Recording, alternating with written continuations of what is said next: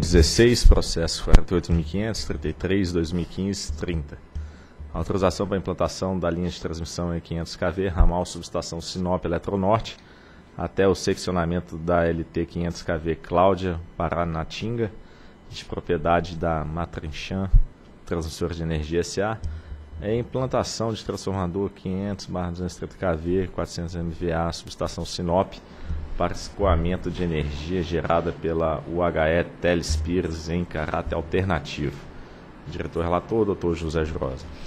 Inicialmente eu gostaria de agradecer o esforço que teve tanto o pessoal da SRT e da SCT é, nessa análise, que ela foi, teve que ser uma análise um tanto quanto expedita e todo o trabalho ter sido feito a toque de caixa em, em função do, do, do, do, que se exigia para o momento. Em 3 do 12 e 14 foi realizado na reunião do comitê de número 150 do CMSE, em que foi apresentado o cronograma de obras nas instalações de transmissões vinculado aos contratos de concessões número 12 e 13 de 2012. Esses contratos estão sob responsabilidade das transmissoras Matrinchã, transmissoras de energia, e Guaraciaba, transmissora de energia, respectivamente, que são associados ao escoamento de energia proveniente da Companhia Hidrelétrica Telespírito do contrato de concessão número 2 de 2011, com início de operação comercial prevista para 30 de 4 de 15 e início de suprimento de acordo com o seu contrato de comercialização no ambiente regulado em 1 de janeiro de 15.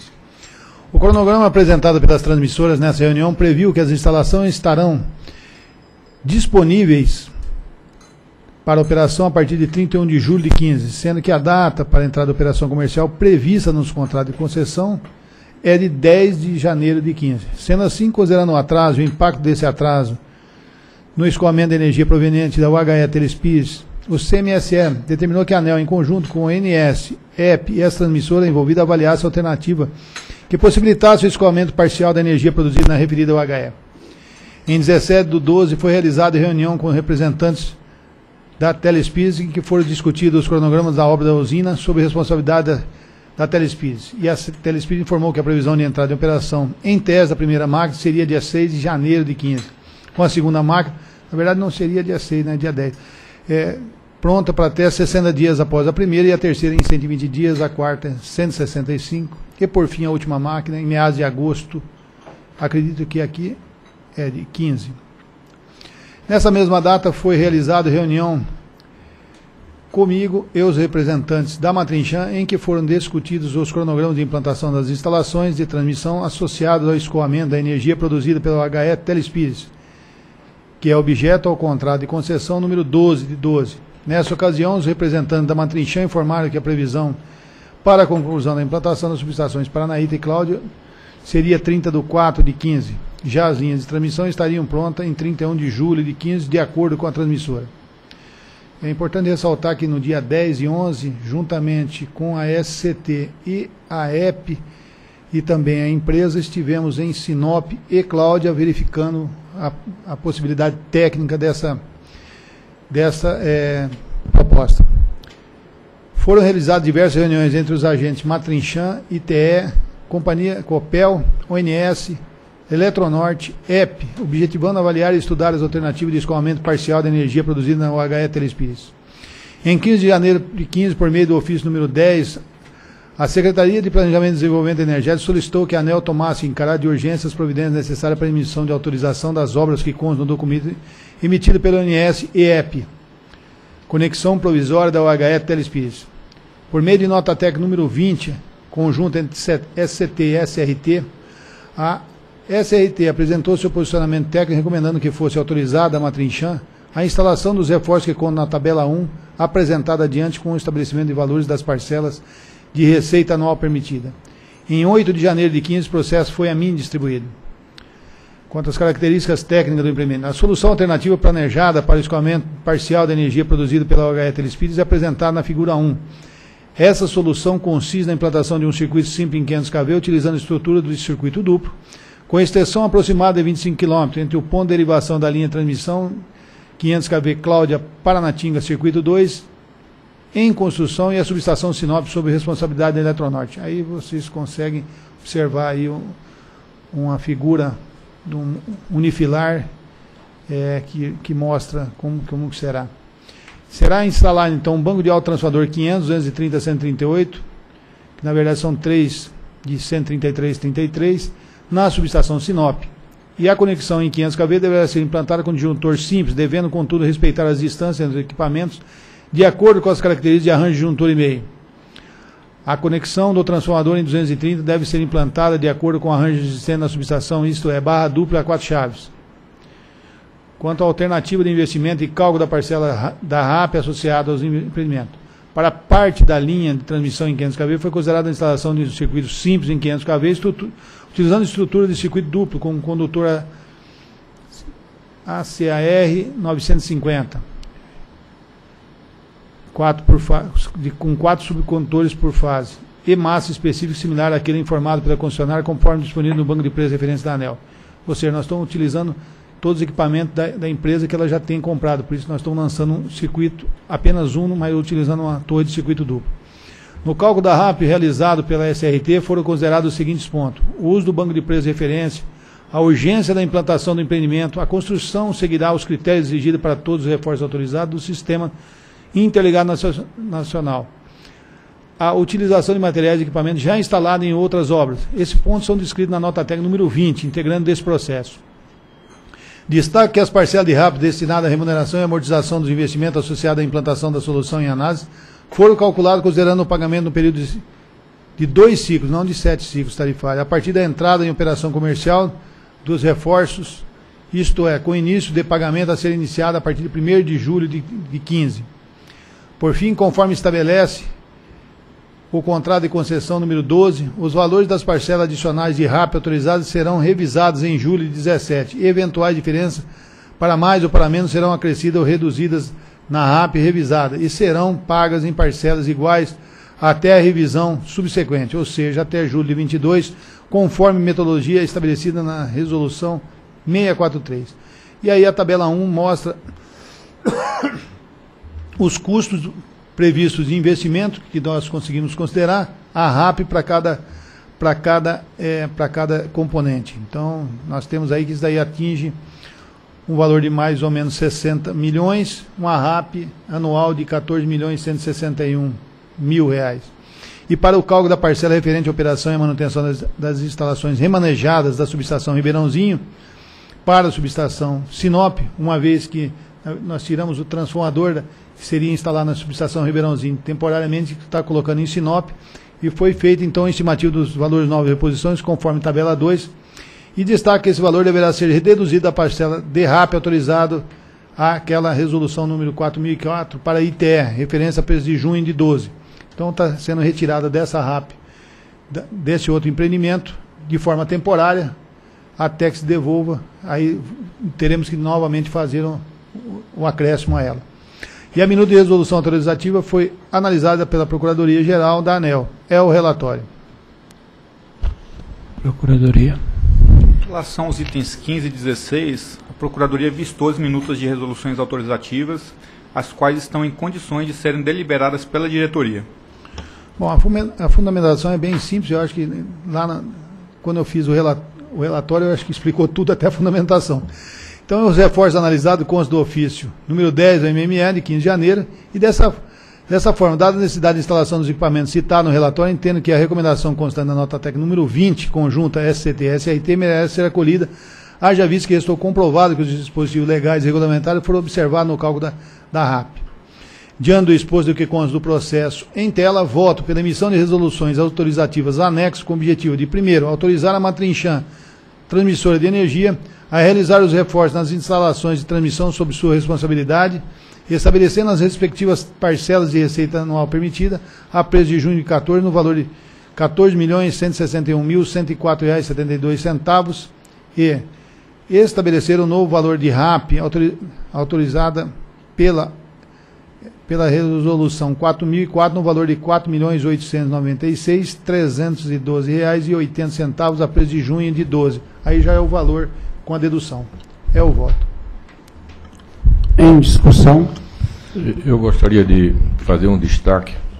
Esse assunto ele surgiu na reunião do CMSE, na, no qual foi citado aí pelo diretor Jurosa, E durante a apresentação do cronograma da, da obra, da linha de transmissão, verificou-se um, um, um, descasamento entre a energização da, da usina Telespires, com previsão da primeira máquina para abril, e a linha de transmissão com previsão de conclusão em julho de 2015.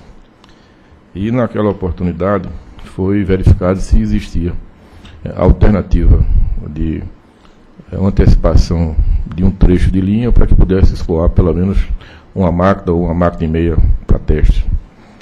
E aí eu gostaria de, em função desse desafio que foi colocado, gostaria de destacar aí o trabalho que vem sendo desenvolvido a nível de MME, né, nível de EP, ONS e ANEL. E no caso da ANEL, quem tem uma participação decisiva nesse processo, por iniciativa, foi o diretor Jurosa, por acaso relator aqui desse processo, mas nós é, percebemos uma postura proativa, quer dizer, a posição mais cômoda seria ficar na figura do regulador, esperando que planejamento definisse, a obra executasse, mas aí ele arregaçou as mangas junto com esses representantes desses órgãos que eu já citei e fez todo um trabalho de engenharia no sentido de verificar se tinha alternativa de planejamento, se tinha equipamento suficiente, foi feito estudo de traçado, foi feita uma indicação do projeto e aí, com base nessas informações, eu destacaria também a atuação das áreas técnicas da ANEL, da área de transmissão,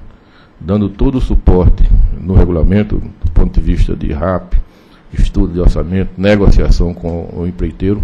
Ou seja, isso é importante a gente destacar porque mostra que o setor elétrico dessas entidades, quando são desafiados, encontram alternativas, encontram solução. Eu acho que esse caso é um caso emblemático, quer dizer, nós temos uma usina entrando em abril, uma linha disponível em julho, e aí uma antecipação de um trecho de linha para viabilizar o escoamento de 400 megawatts, 400 megawatts que o país necessita nesse momento. Portanto, não só em relação ao voto, mas uh, as minhas, uh, eu diria assim, elogios né, à iniciativa da ANEL, junto com a área técnica, também do, não só o voto do diretor relator, mas também a sua iniciativa pessoal no sentido de viabilizar esse empreendimento juntamente com o Ministério de Energia, a EP e o ONS.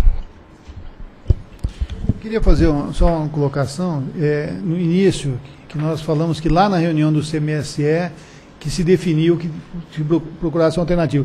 Isso é um fato que eu acho que é importante a gente colocar, que é o seguinte, até aquela reunião, a, a, as transmissoras, elas afirmavam, e, e, e, o documento que nós tínhamos aqui na, no nosso acompanhamento da fiscalização, que 30 de abril, embora atrasado, mas 30 de abril, ela estaria com a linha pronta. Então, 30 de abril, nós não teríamos que tomar nenhuma outra alternativa. Dado que na reunião eles colocaram que foi julho, eles mudaram, na verdade, três meses à frente, que se teve que, que tomar uma, uma decisão mais, é, mais, vamos dizer assim, mais urgente. Né? Então, eu acho que é para deixar bem claro, porque senão fica parecendo que nós não acompanhamos, mas chegou lá, alguém falou, olha, por que, que vocês não. Né? Não é, foi isso não. Tá? É, eu queria primeiro fazer um pouco de coro as colocações do Rave, e destacar a importância dessa atuação, porque é uma atuação de uma agência como gestora de contratos. E ela faz uma percepção de risco e tenta corrigir isso de modo a entregar a energia é, é, necessária e contratada no prazo previsto no contrato, que era abril. É, o que ocorre é que muitas vezes, um pouco com medo da ANEL reguladora que aplica penalidades, os, os agentes insistem em dizer que vão cumprir o prazo e passam informações otimistas demais e que deturpam um pouco a nossa visão. Nesse caso, a nossa suspeita é, acabou sendo verdadeira. Depois, a nossa equipe em campo verificou que a informação que estava recebendo era extremamente otimista, inclusive diante da estação chuvosa que estava chegando. E mesmo com a seca que tem ocorrido ah, na, na região dos reservatórios, a região lá de Telespires está chovendo bastante, então para a obra seria complicado. Então isso foi uma atuação em que a gente foi preventivo para evitar ter que remediar lá na frente. E isso é, eu acho que é um paradigma importantíssimo. Raramente tem esse tipo de iniciativa nossa tem recebido destaque e vai garantir que a energia seja entregue conforme o prazo contratual. Esse processo casa com aquele outro que já foi deliberado hoje, que trata do, do termo de compromisso para eventual atraso adicional, inclusive, e depois com a DUP. Mas isso é um exemplo da atuação da ANEL em prol da, da segurança energética. Também quero referenciar as palavras do diretor Reive e fazer um registro e reconhecer a desenvoltura e atuação do diretor Jurosa na coordenação desse processo. Então, parabéns pela iniciativa e tenho presente que é assim que se deve construir a, a regulação do setor elétrico, ou seja, próximo dos agentes, e faço esse registro. Bem, concordando com tudo que foi dito, em votação. Eu voto com o relator. Também voto com o relator. Também voto com o relator. Em voto com o relator, proclamo então que a editoria decidiu autorizar a Matrinchan, transmissora de energia, TP Norte SA, a realizar os reforços nas instalações de transmissão sob sua responsabilidade, estabelecendo as respectivas, as respectivas parcelas da RAP a preços de junho de 2014, no valor de R$ 14.161.104 e estabelecer o novo valor da RAP autorizada pela Resolução 4004 de 2013, no valor de R$ 4.896.312 a preço de junho de 2012. Próximo item.